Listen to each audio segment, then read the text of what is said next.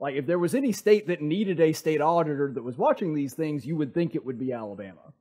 Uh, I completely agree with you. I mean, it just looks bad for the government to come out and say, "Yeah, we want to get rid of the auditor's position." I mean, the, the reaction from the voting public is going to be like, "Wait, the the one entity that's there to to look to make sure Right, that the government exactly. isn't wasting our money. I mean, you're going to get rid of that one." Hey, fellow tacticians, be sure to like this video and subscribe and ring that little notification bell. That supports this channel's conservative content, which is good for me, good for you, good for America, but really bad for the dark cyber overlords at YouTube.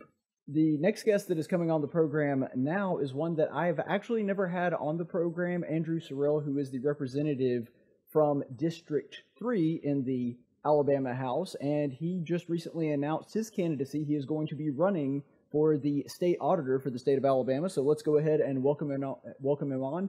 Thank you so much for being with us, Representative Sorrell. Hey, Caleb, really appreciate you having me on. Yeah, always a pleasure to uh, pick the brain of some of our elected representatives, especially when they're seeking a higher office. And so, without any further ado, I kind of wanted to get right to the heart of the matter. There are a lot of statewide offices, a lot of constitutional offices you could have chosen to run for. Why state auditor? Yeah, it's a really good question. And let me tell you what happened. Two years ago, a bill was introduced. My first year in the legislature, a bill was introduced to eliminate the state auditor's position completely. And what that forced me to do was to really analyze the position, study it, learn about it, and see is this a position that we could legitimately get rid of? And the conclusion I came to was no, absolutely not. I have to be opposed to that bill. I think it would be very unwise to eliminate the state auditor's position because it does really three very important things. The first thing that it does is it keeps track of all the state property worth $500 or more. There is $1.7 billion worth of property that the citizens of Alabama own. It's spread out over 176 different state agencies. That property all has to be uh, audited annually. The second thing the auditor does is he appoints, he or she appoints a registrar in 66 of the 67 counties in Alabama. These are the people who register you to vote and perhaps even more importantly, keep the voter rolls clean. And finally, the state auditor serves on the board of adjustment. So the state of Alabama is a sovereign entity. You can't sue the state of Alabama. But if you do have a valid claim against the state or against one of its boards or agencies, you can file your claim with the board of adjustment, and the state auditor has one of the votes and hears those cases quarterly. So after I studied the position a little bit, I thought, no, we, we cannot get rid of this position. It's too important for the people of Alabama. And, you know, you, you need you need somebody watching the taxpayers' money. I just think that's really important. Well, I appreciate you bringing that up because that was actually going to be one of my next questions. Is they recently decided to at least look at getting rid of the state officer's uh, auditor's position, and I think that there are a lot of people. I'm not saying that you're one of them, but there are a lot of people in the state of Alabama that look at constitutional offices as just stepping stones to something bigger. And so I actually really appreciate the fact that it sounds like you've studied what the position does and the intricacies of it, and you're not just looking at it as a uh, a resume builder for a higher office later. That that's something that you're actually interested in what the office does. Yeah, you know, when I ran for state state house, it was because I wanted to be a state representative. There were issues that I wanted to work on, and maybe we can talk about some of those today. Sure. But why I'm running for state auditor is because I want to be state auditor. People say, "Are you going to be as outspoken as Jim Ziegler was?" Look, I'm running for state auditor because I want to do the job of state auditor. If I'm outspoken on other issues, that's secondary to doing the job well.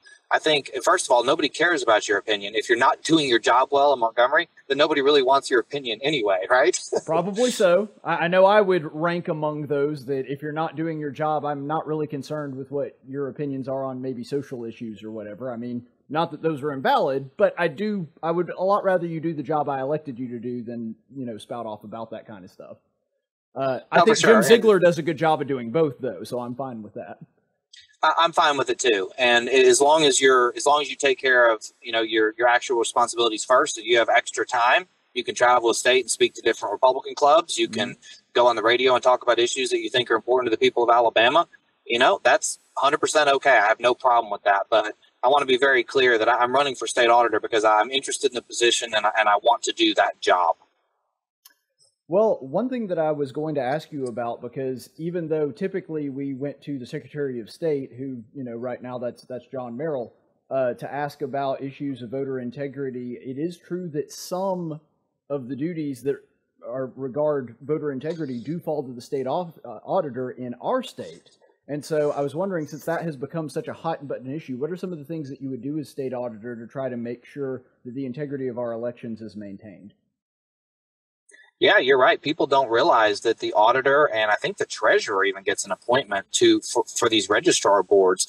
And the first thing I would do is I would go to the conferences where the registrars meet annually. I think they get together down in Baldwin County somewhere and they do an annual conference. Mm-hmm. I think the state auditor needs to be in on that. He needs to be learning the same thing. If it's if if he's going to be appointing registrars, he needs to understand the registrar position, the intricacies of that. So I'm going to make it a point to go to all of those conferences myself. And secondarily, I'm just going to interview people and I'm going to ask them, what is your plan to keep the voter rolls clean? What is your plan to figure out who needs to be removed? If, as John Merrill says, if they moved away, passed away, or were put away, they need to be taken off the voter rolls. Mm-hmm. And I want to make sure that the people that I'm that I'm appointing to registrar are going to be very, very serious about doing that job.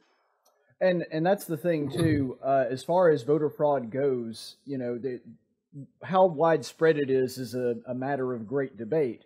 But I think that even the person that contends that our voting system is, is very safe and very reliable would even have to admit that there are some issues occasionally, things that slip through the cracks when it comes to people being on the voter rolls that really shouldn't be there are things slipping through the cracks, and I've already taken some steps to address these as a legislator. I supported a number of good election reform bills this year. I'll give you an example or two. Okay. One of them was if you vote twice in Alabama, obviously that's illegal. But you know what wasn't illegal?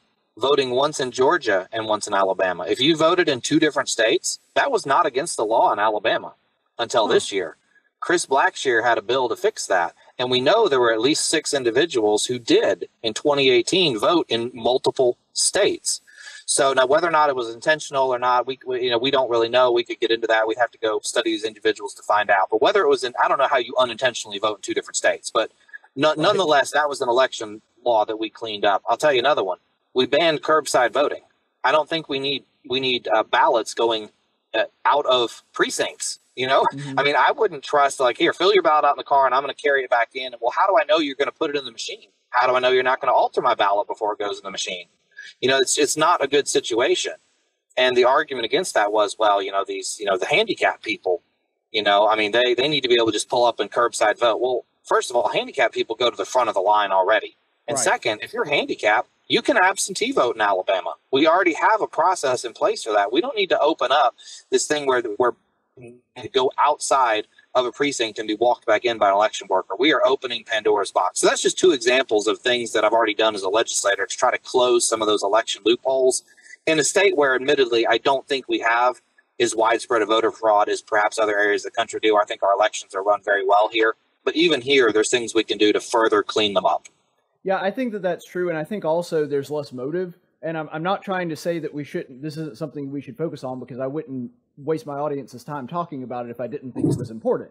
But in Alabama, there's less motive because we're not really a swing state, and so I, I, think there's less reasons why somebody would, would try to trick the vote because it would be so hard to get the overwhelming majority to, to get it to swing the other direction. But you know, it can happen. And one thing that I wanted to ask about because I, I didn't want to you know go too far down this rabbit hole, but if you read the media and their reaction to the getting rid of curbside voting in Alabama, you would have thought that we enacted a million dollar poll tax the way that they overreacted to it. Like we, we yes. were, we were basically enacting Jim Crow, but a thousand times worse by saying, no, you cannot do the thing that we literally just invented last year.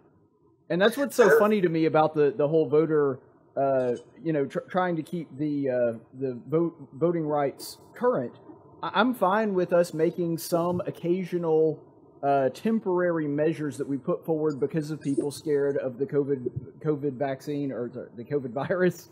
Uh, not scared of the vaccine. There might be some people afraid of that too. But people that were afraid of the virus, I understand enacting some temporary measures to make voting a little bit easier because of what was going on then. But now they act as though as though those temporary measures, if those measures that we just put in place last year aren't kept from now until the end of time, it's voter suppression. Oh yeah, we had to endure a filibuster uh, every time we did an election bill. There was a filibuster in the House by the opposing party, and we had to end up cloturing every single election bill we passed this year. We had to cloture the vote just to stop debate because it would have gone on for forever. I mean, they mm-hmm. would have wasted 24 hours of, of floor time on an issue that was going to be a party line vote anyway. I mean, it's absolutely ridiculous. Look, I don't care if if your party is in power, winning the election, losing the election. We should all be for honest, fair, and free elections. That should right. have been a unanimous vote. No, I, I couldn't agree more. But uh, sort of transitioning topics here.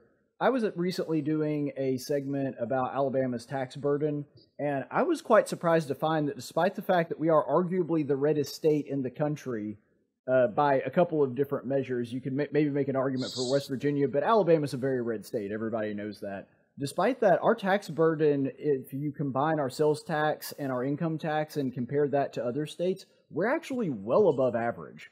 And so, how would you, as the state auditor, make sure that those tax dollars are, are being spent well because I mean, in my opinion, we're being s- severely overtaxed in Alabama, and I, I, know that our property tax is low, and that helps make up for it to some degree. But um, how would you make sure that our tax dollars are being well spent and, and serving the people of Alabama, and that money is going where it needs to go? So currently, the duties of the state auditor are just to check up on the property, make sure the property isn't disappearing. So that is a very important duty. But what I would do is I would push for the Department of Public Examiners to be put back under the state auditor's office where I believe that it should be. And in fact, I carried that bill this year. I wasn't able to move it, but I had a piece of legislation that would do just that. And when most people think of auditing, that's what they think of. They think of someone going in and, hey, we're going to audit this county commission's books. We're going to make sure no money's disappearing and everything. That's what they think of. That's not the auditor right now. That's the Department of Public Examiners. I forgot that they had moved that actually. So yeah, they sure did. My, my bad. And, I forgot about no, that. No, that's that's no, and that's that is a very common misconception, but it's a misconception for a reason. It's because that's probably really the way that it should be. That's the way I would prefer that it to be. Um, besides that, I'm going to continue speaking out uh, against higher taxes. Now, when I was in the legislature, I voted against uh, not just the tax increases, but also the fee increases, because fee increases are usually just higher taxes disguised as fees. Right. We had a bill this year. We're going to add five dollar fee onto everyone's, uh, you know, boat, uh, you know, title. Uh, well, that's actually just another tax. So, you know, I voted no on that. Um, I sponsored bills to cut taxes that none of them went anywhere. None of my tax cut bills ever saw the light of day. I had a bill that would have gotten rid of the grocery tax. It would have phased out the state grocery tax over 20 years. I had a bill that would have eliminated the business personal property tax. Had another bill that would have eliminated the business um, personal property tax. Uh, so I sponsored at least three different tax cut bills. And uh, as auditor, I would continue to speak out that you know Alabama's tax burden. We we like to say that we're the reddest state in the nation, but you know, our policies don't always align with that as closely as they should. Right, and sort of on the other side of that, speaking of your voting record, if I'm not mistaken, didn't I read somewhere that you were the only person that voted against the state's education budget for the past two years? So not just the education budget, I also voted against the, the uh, general fund budget. So Alabama has a bifurcated budget process. We have right. two different budgets. We have education and everything else. I voted against both of them not because I'm against, you know, funding state troopers. I'm not against paying teachers. I'm not against any of those things. What right, I'm against, Andrew, why do you hate the children? Why, why would you? right, exactly. that, that's. I'm sure you've heard that argument a thousand times when people are actually being serious about it. No, for sure. And there, there's a lot of different reasons that people can vote no on a bill. You know, you sure. don't get to vote no on individual pieces of a bill. I can't go in and say, well, I'm for the money for teachers, but I'm not for, for, for this expenditure. You know, right. it's, yeah. it's all or none. But really, my no vote was was was a protest vote because I was the only legislator to do it in the House or Senate. But I'm trying to make the point that we are growing the size and scope of our government every year. Even during a pandemic, we found a way to grow the size of government in Alabama at a rate of three to five percent annually. I campaigned as a small government conservative when I ran for the state legislature, and I intend to vote like one. So, I, after my first year in the House, I figured out what was happening. Hey, Republicans are growing government in Alabama that's that's not what I'm for. As as a small government conservative, I couldn't support that, so I did vote no on the budgets each of the last two years. Just out of curiosity, and, and I'm just asking for a frank opinion on your part. Do you you actually, I assume, because you're moving to the state auditor's position, or at least trying to move to the state auditor's position, you believe that you could do more good there than you're currently doing in the House. Is there a reason for that? Do you feel like uh, you just can't make a difference as one of a voting body, and you think you'd make a bigger difference as a constitutional officer. Like, what was the motivation behind that? Do you, do you think that maybe you could do more good in the House if you stayed there? Well, I could definitely do more good in the House if I stay. I don't mean more. I could do. I could continue to do good. I couldn't do more good. I think I can do more good in the auditor's office. Okay. But I, I did get some good done as a state legislator, and I still have 18 months left. I still have a whole nother session left, plus a couple of special sessions likely later this year. Right. I was able to pass the civil asset forfeiture reform bill, passed it unanimously um, in committee and on the House floor. I even got the um, the minority leader of the Democrats co-sponsored my bill I worked very closely with Senator Arthur Orr on that. We ended up actually passing the Senate version of the bill, SB 210. I carried it in the House, both in committee and on the floor. Uh, Governor signed that bill into law last week. A lot of good reforms in that bill. So I was very proud of that work. I, have moved constitutional carry farther than anyone else in Alabama has ever been able to move it. I good got it passed out. I've been trying for that one forever, and it, it, we put it we bring it up every year, and it always fails. It just gets my goat. But anyway, Caleb, it's coming. It is coming. Listen, this year Well, I I, got hope an eight to four. I got an eight to four vote in the public safety committee. It came out, shocked everyone. Um, but you know, those public safety committee members, um, I've I've been working on them for three years, and you know, some of them have just changed their mind. You know, we've had great discussions about it, and they slowly said, you know what, you're right. You shouldn't be able to charge somebody for what is their constitutional right. exactly. And I was I was very pleased that, as far as I know, every Republican on that committee voted for my bill this year. And uh, next year, I believe you'll see that bill on the House floor. And I, I mean, just to be quite frank, I don't see a bunch of Republicans voting no on a gun bill in an election year. I, I think the bill will probably pass next year. So I have been successful in the House. I've really enjoyed it in the House, but I do think that keeping track of 1.7 billion dollars worth of taxpayers' property that's an important job. I think I could do a lot of good in that position. Well, as somebody that tends to be a budget hawk, I really kind of want to get your idea on this, and, and maybe this will give us a little insight into how you would handle um, ha- handle things in the future when it comes to this. Uh, what's your opinion on merging the two budgets? Because I, I think that there's good arguments on both sides of this. I tend to like the fact that they're separate and want to keep them separate, but would you be in favor of if there was a proposal for the Alabama uh, budgets to be merged, and so we would just have one general budget as opposed to a general budget and education budget? Yeah, that's a real lightning rod issue. You know, Yeah, if, really if you is. merge if you merge the budgets, then you know the, the the educators may say, "Oh, well, they're trying to take money from education," or you know the the prisons may say, "Oh, they're trying to take our prison money and give it to the teachers," or what. So eh, everyone's suspicious if you ever start trying to merge the two budgets. But would I vote for it? Yes, because I think it's good government to vote for it. The money eh, needs to go to its its best and most efficient use. And if it's tied down in one budget, if you've got 80 million extra in one budget and you really need to have it in the other, you just can't spend it there. So you end up spending it on a second or third priority, whereas you could have it on a first tier priority in the other budget. Doesn't really make any sense. We're one of only three or four states that, that do bifurcate our budget process, and uh, I would I would definitely vote in favor of combining the two budgets. Okay, well, that's interesting to see where you stand. And I actually, like I said, come down on a different side of that issue, mostly just because I'm afraid that uh, the education budget would get completely swallowed by the general. Uh, but I, I understand the arguments for making it uh, a little bit more fluid. I, I genuinely understand that, but um, I, I like the fact that you at least had good rationale for your position on that.